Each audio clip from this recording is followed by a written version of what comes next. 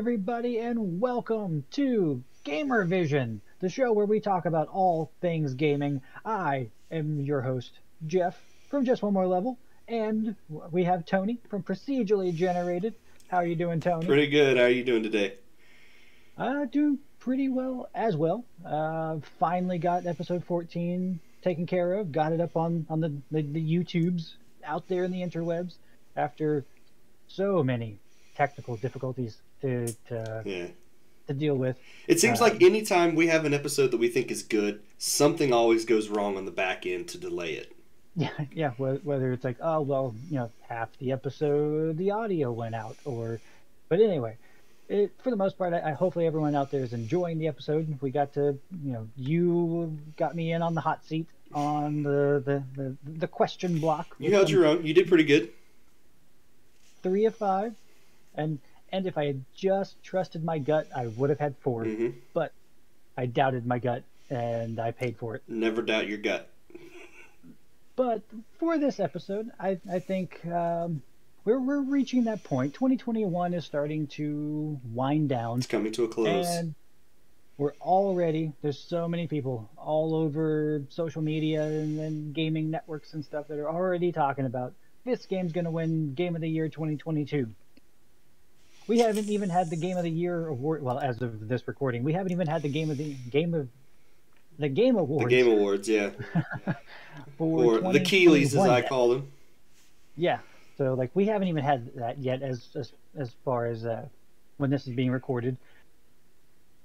But people are already saying that God of War Ragnarok is going to win 20 uh, Game of the Year 2022. Breath of the Wild 2 is going to win Game of the Year 2022. I'm sorry. None of those In a, in a year where we're getting a new Rabbids game, and I can't believe I'm saying this, in a year where we're getting a new Rabbids game, none of them have a chance to win Game of the Year. I mean, you know, and before the show, we, we talked a little bit about it. 2022, right now, is shaping up to be one of the most stacked years. Yeah. Uh, you you found a, a list of of, re, of the known releases and speculated releases Just of a 2022. huge list of games that probably will come out, but Yeah. a good portion of them will also get delayed. And just looking at that list, I mean, it is a it is it is stacked. You know, there is the potential chance of Breath of the Wild 2. There is the chance of God of War Ragnarok on top of Gran Turismo 7 and Elden Ring and Starfield and potentially Bayonetta 3. Uh, I, I saw somewhere on there possibly Splatoon 3, Yeah. Final Fantasy 16, uh, Forspoken. Uh, one that I'm really looking forward to, and I really, really, really hope it comes out in March, is Project uh, Triangle Strategy Yes. um, been been I don't know if it actually comes through or not, but Mercenary Saga Chronicles. Been playing a little bit of, of that to try to tide me over with the, uh, the the tactical RPG, but with this, I think we should dive in and, and actually look at some of these games and see whether or not they're actually going to come out in 2022. Because I've I've got my doubts especially from some of them on, on the Sony camp that tend to see fairly regular delays in their in their uh, their franchises. I just want But- 2022 will have 2021's Game of the Year in it. It I, I'm considering Halo Infinite a 2022 release, even though technically it does come out this week. Um, Yeah, because the multiplayer co-op campaign will not be available till probably May, and that's when I'm going to play the game. So uh, that is a 2022 release to me. and I mean, just based on what I've been seeing from from people playing the multiplayer, Oh, it's good. it really seems like it's a return to form for for Master Chief uh, and all the Spartans out there with the multiplayer. So for the most part, like I, I haven't uh, I haven't played the multiplayer yet. I've been kind of saving saving that, but uh, I just re-upped on the, the Game Pass stuff, Yeah. so I'm, I'm gonna be checking that out pretty soon. Yeah, I've played half a dozen matches of multiplayer on Infinite right now, and it's really good. Like, I don't like competitive multiplayer shooters; it's just not my thing. Um, but the day it came out, I downloaded it. I was playing around with Ethan and Cole um, from the podcast and uh, messing around with some private matches. And then after we got done, I actually went in and played some matches against regular people and ended up having a good time. And I've played half a dozen matches. I think I've only won one. Like I'm I'm I'm awful at the games. My my best KD ratio has been in the negatives. It's like nine kills and twelve deaths. Um, has been the best I've done. But there's so many other things that you do in that that, are you know they have the different objective based modes like the capture the flag and and you know the king of the hill type stuff. And that's where I, I feel like I can contribute more than you know just the straight shooting part of the game. Um, but it's really good it's, it's been really good so far. Uh, my my history with Halo started with Reach. And I actually played through that co-op with some friends who were living with me at the time. And I've played every game that you can play co-op. I've played through the campaign co-op, and so with the exception of probably Halo One, uh, I've played every game alongside somebody else, and I think that's really made that series feel like a you know a co-op shooter series to me, rather yeah. than that solo go in and you know save the world by yourself.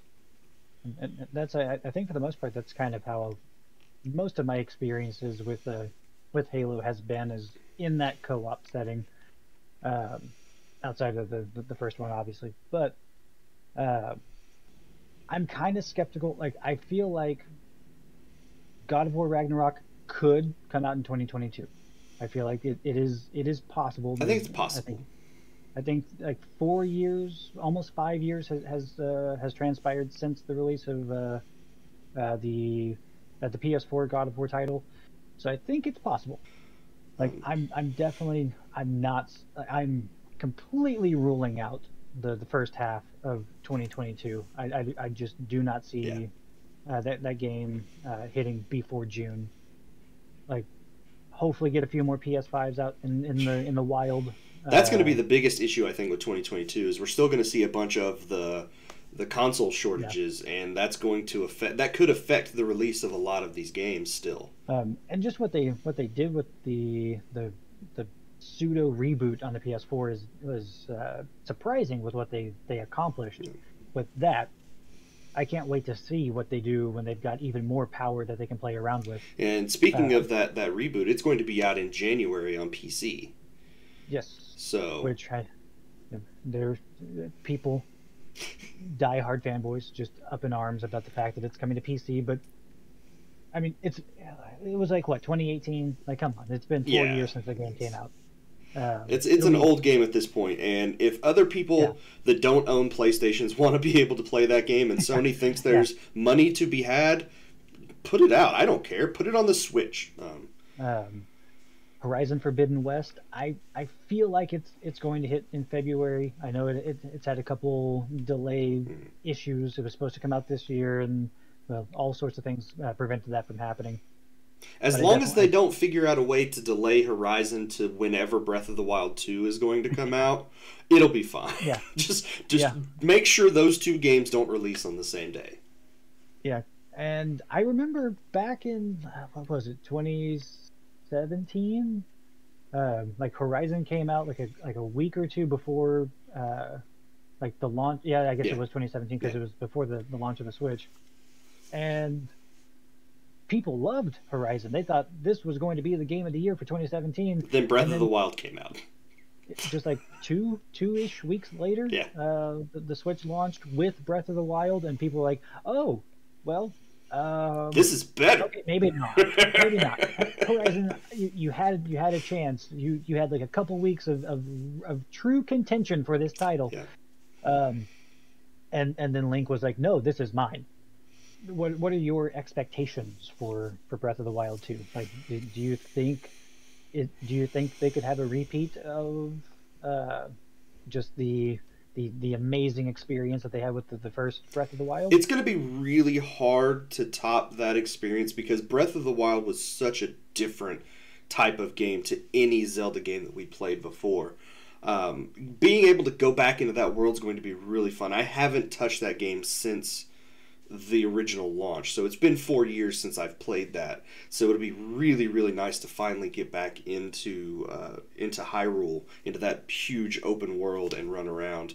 Hopefully, I really and I don't know that this will ever be able to happen, but I hope you can bring your horse from the first game to this one because I had from launch day, I had a horse. I named my horse Switch the day I got Breath of the Wild, and uh, I used that horse the entire game. Even when I got Epona, I was like, "Nope, Epona, to the stables with you. I am taking Switch on this adventure, and you're out of luck. So I want to be able to bring Switch with me to the to the new game and play uh, Breath of the Wild 2 with uh, with my horse. But no, I, I I really don't know what to expect. I think they'll probably put a little bit more of a focus maybe on some dungeon stuff again.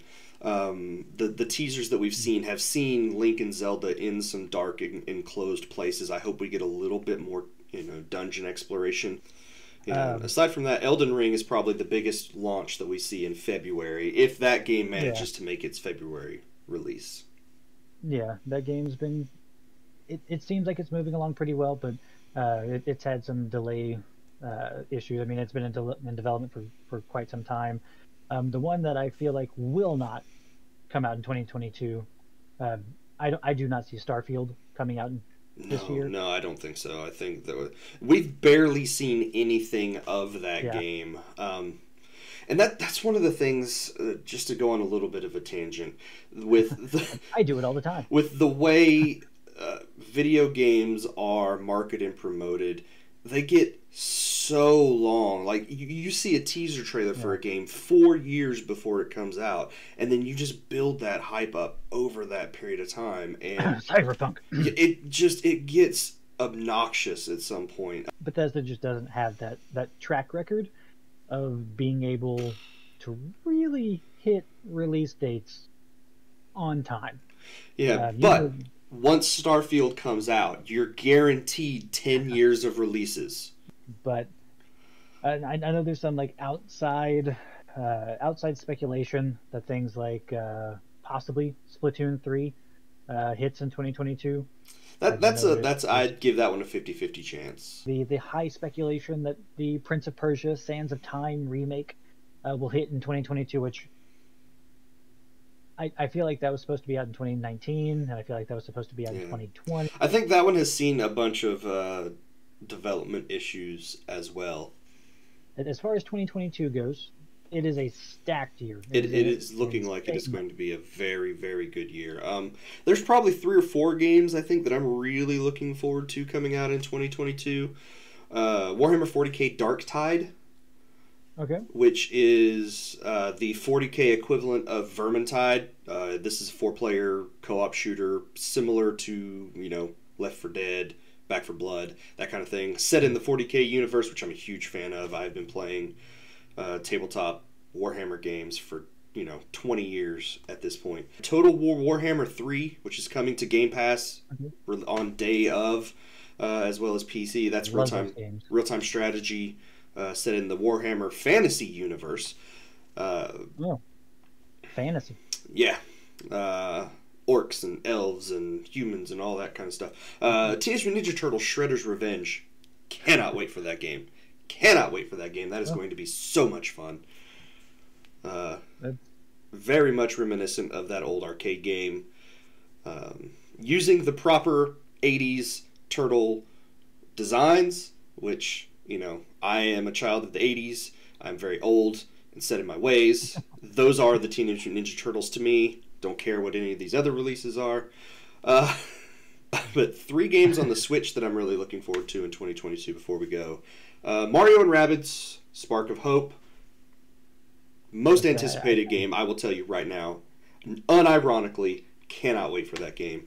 Um, I remember how excited you were at, at E3 when when uh, when that trailer started playing. I mean, that's yeah, uh... yeah, yeah. uh, Kirby and the Forgotten Land which it makes the post-apocalypse look cute. Cannot wait for that.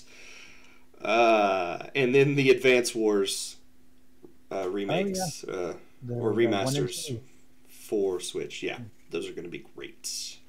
Um, so, like for for me, like God of War Ragnarok is definitely up there as far as like what I'm I'm excited for uh, for 2022. Hopefully, comes out in 2022. Uh, Project Triangle Strategy is it, it, it's tough for me to say, but I, I, think that's probably my number one game that I'm that I'm looking forward to. If it happens, Final Fantasy 16. Yeah. Um, those are probably my my three most sought after. Some of this stuff is going to get pushed back to Yeah. 2023. If it's not because of development cycles, it's, It's- because uh, Because they got to make way for Drill Dozer.